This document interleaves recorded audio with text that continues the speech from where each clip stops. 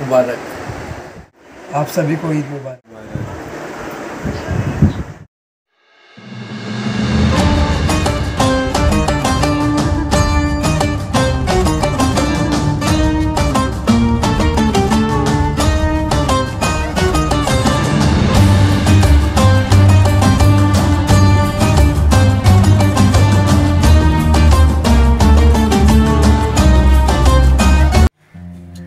Friend आज है अलविदा का आखिरी रोज़ा और कल ईद आने वाली है।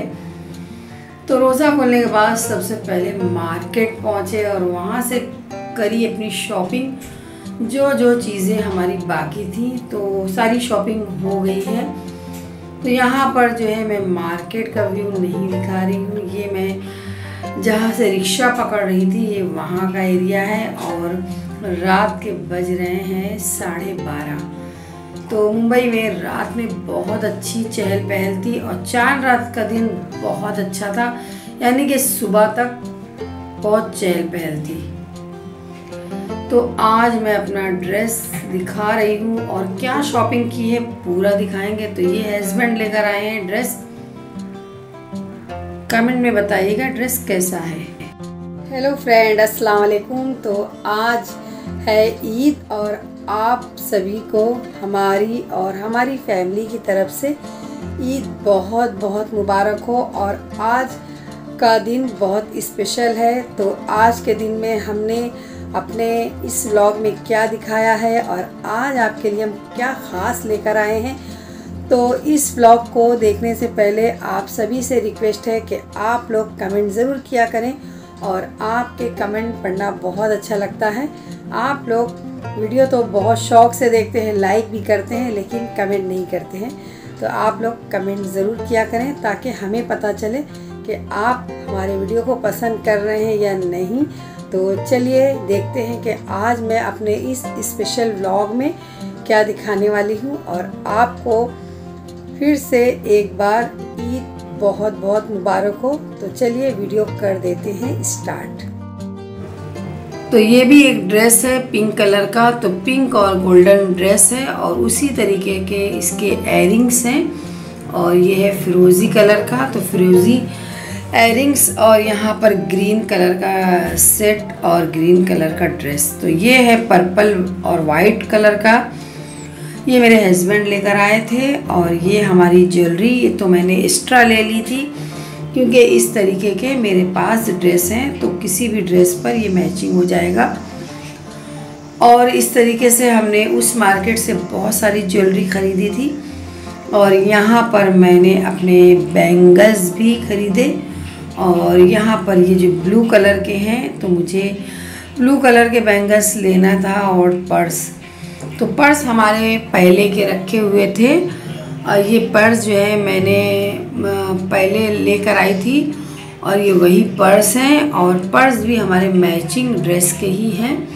तो जब हम कोई ड्रेस पहनेंगे तो इस पर ये पर्स ले लेंगे।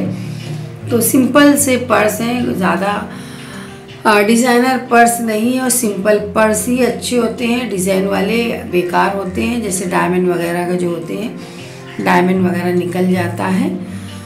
तो बस ईद में बहुत मज़ा आया और आपके रोज़े कैसे गए, हमें कमेंट में लिखिएगा। और ईद में बहुत सारे लोगों ने बहुत शॉपिंग की होगी। हमने भी की है और हम जब मुलुक गए थे, यानी कि गाँव गए थे तो बहुत सारी शॉपिंग की थी हमने। और वहाँ से आने के बाद ईद के लिए भी थोड़ी बहुत शॉपिंग की और यहाँ पर चप्पल तो चप्पल वैसे हमने चार जोड़ी ली है, लेकिन यहाँ पर मैं एक ही दिखा रही हूँ, क्योंकि तीन जोड़ी चप्पल मेरी कहीं रखी हैं जो मुझे ध्यान नहीं आ रहा कि मैंने कहाँ रखा है, और जल्दबाजी में मैंने अपना सारा वीडियो शूट किया, क्योंकि रमज़ान की वजह से हमें बिल्कुल टाइम नहीं मिल रहा था कि हम क्या आपको दिखाएँ। तो जो शॉपिंग हमने की वो आपके साथ शेयर की, और ये देख सकते हैं, वाइट कलर का ड्रेस है हमारा।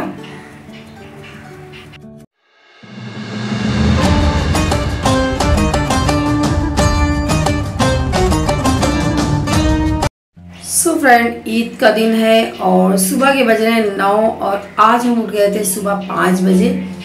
और पाँच बजे उठने के बाद घर की क्लीनिंग वगैरह की और बच्चे लोग नमाज़ पढ़ने गए हैं हस्बैंड भी नमाज़ पढ़ने गए हैं। तो बस इस तरीके से सबसे पहले अपने घर की साफ़ सफ़ाई की और लखनऊ से जब हम आए थे तो सबसे पहले अपने घर की पेंटिंग करवाई, क्योंकि चार साल पहले हमने घर की पेंटिंग करवाई थी। उसके बाद पेंटिंग नहीं करवाई। चार साल के बाद फिर से पेंटिंग घर में हो गई। और कल मार्केट गए थे तो मैंने पर्दे वगैरह रेडीमेड ख़रीद लिए थे और कालीन वगैरह ख़रीदी। तो इस तरीके से घर का जो है डेकोरेशन करना था और ये कालीन आप देख सकते हैं। तो जल्दबाजी में हमने सारी शॉपिंग की क्योंकि रोज़े की वजह से हम बाहर नहीं जा सकते थे और मार्केट में भीड़ वगैरह बहुत ज़्यादा होती है। तो ईद का टाइम था, इस वजह से हम बहुत कम मार्केट जाते थे, लेकिन चाँद रात के दिन जब हम गए, वहाँ पर हमने सारी शॉपिंग की और घर की पेंटिंग होने के बाद घर का लुक काफ़ी अच्छा हो गया, सब चेंज हो गया। और लखनऊ से आने के बाद जब पेंटिंग करवाई तो घर की बहुत ज़्यादा साफ़ सफ़ाई की। तो इस तरीके से घर का सारा लुक चेंज किया।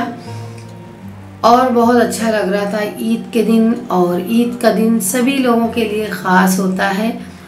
और ईद में सब लोग आते हैं तो और भी ज़्यादा अच्छा लगता है क्योंकि ईद एक ऐसा त्यौहार है जो सभी लोगों से मिलना जुलना हो जाता है, लेकिन इस बार हम अपनी सिस्टर के घर ईद मिलने नहीं जा पाए क्योंकि मेरे घर में भी उस दिन काफ़ी सारे मेहमान आ गए थे। और इस वजह से मेरा जाना नहीं हुआ और अगले साल हम गए थे और सुबह में हमने शीर कोरमा सबसे पहले बना लिया था, क्योंकि कोई भी मेहमान आता है तो शीर कोरमा तो बनाना जल्दी ज़रूरी होता है, क्योंकि मेहमान ऐसे ना जाए। तो सबसे पहले हमने छः बजे ही शीर कोरमा बना लिया था, बाद में सारे खाने वगैरह बनाए और ये हमारा किचन बहुत छोटा है, बहुत बड़ा सा नहीं है, लेकिन ठीक है। तो बस किचन की भी क्लीनिंग कर ली थी सुबह में ही और फिर बच्चे लोग आ गए नमाज़ पढ़कर। बच्चे नमाज़ पढ़कर आ गए और ईद का दिन है, काफ़ी अच्छा लग रहा था और शुएब सऊदी से आ गए हैं और उन्हें ये वाइट ड्रेस पहना और उसके ऊपर रुमाल बांधा तो काफ़ी अच्छा लग रहा था। क्योंकि शोएब? जब से आए हैं, उन्होंने अपना लिबास चेंज कर लिया। और वो बता रहे थे कि सऊदी में ज़्यादातर लोग इसी तरीके से कपड़े पहनते हैं और वहाँ के जो है एरिए में इस तरीके से लोग कपड़े पहनना ज़्यादा पसंद करते हैं।